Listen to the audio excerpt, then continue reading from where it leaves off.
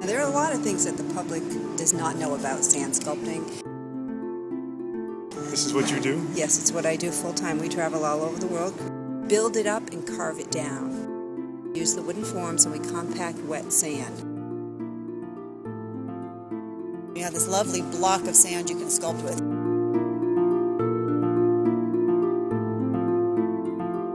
Probably the hardest thing about dealing with sand is that it's a very fickle medium. So years of experience help you with that, knowing what you can and cannot do with any particular sand.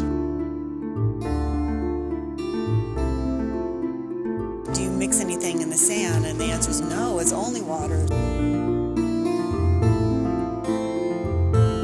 We try to find the right details that matter. is the combination with the water and how you compress it and how steep you can make.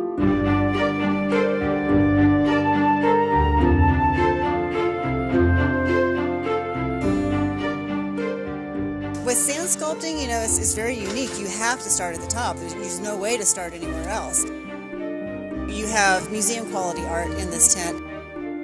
This is difficult to understand. That's why people never believe that it's only sand and water.